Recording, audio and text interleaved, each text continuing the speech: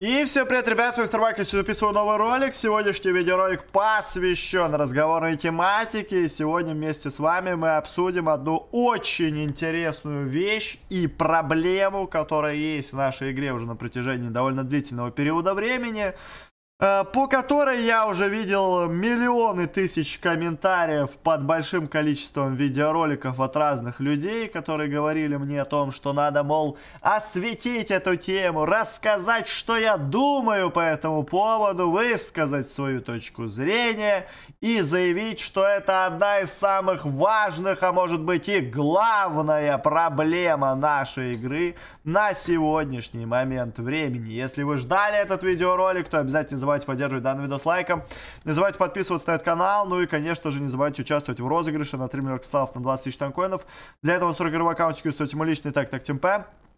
Дальше оформляйте покупку в магазине, ну и заплатите форму, которая есть в описании. Что же касаемо нашей темы сегодняшнего разговора, то тема сегодня у нас будет посвящена группам в матчмейкинге и тому, что эти группы на сегодняшний момент времени очень сильно дисбалансят наш матчмейкинг. Именно эту тему поднимали вы в комментариях на протяжении уже, наверное, не знаю, ну, последнего полугода эту тему я точно видел, э, что, мол, группы э, дисбалансят матчмейкинг, э, группы заставляют выходить из матчмейкинга, когда группы подпикиваются не к группам, а просто к игрокам рандомным, они просто уносят их в хламину, и из-за этого у нас в игре получаются однокалиточные матчмейкинговые бои. С одной стороны, я э, с этой теорией и с этой мыслью согласен, так как э, в моем понимании, если, например, подпикивается группа из игроков э, против не группы, да, против просто матчмейкинговых плееров, которые соло запикались, то это неправильно. Это абсолютно неправильно. Это та вещь, которая влияет на баланс и э, ну, делает разницу, можно так сказать. Делает разницу в игре.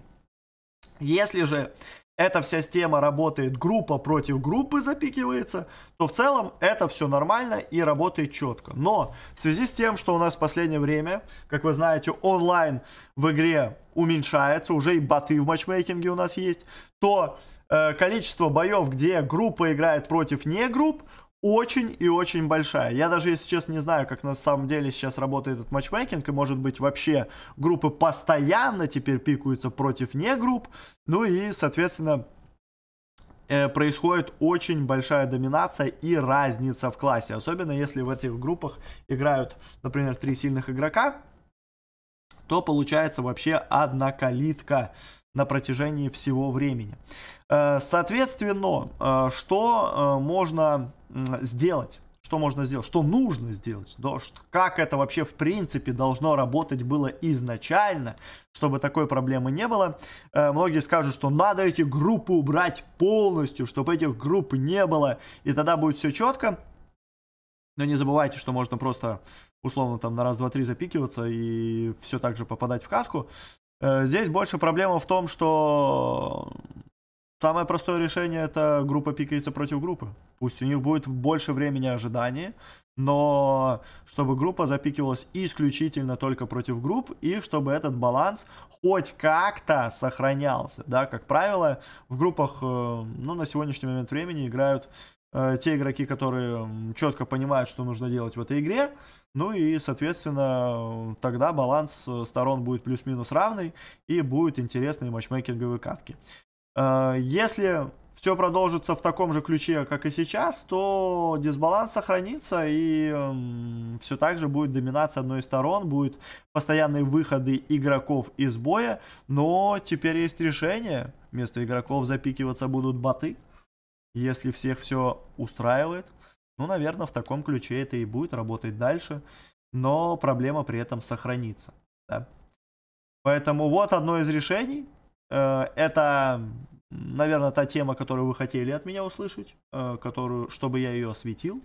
Ну и те ребята, которые ее ждали, я думаю, что вы наконец-таки дождались. Поэтому напишите свое мнение в комментариях, что вы думаете по этому поводу, что вы думаете по поводу групп. Может быть, их надо вообще просто убрать полностью из матчмейкинга, из игры, чтобы их больше не было. Или, может быть, надо просто забалансить наш матчмейкинг и сделать так, чтобы группы адекватно работали против групп, и в этом плане баланс у нас сохранялся. Пишите свое мнение по этому поводу в комментариях, поддержите данный видос лайком.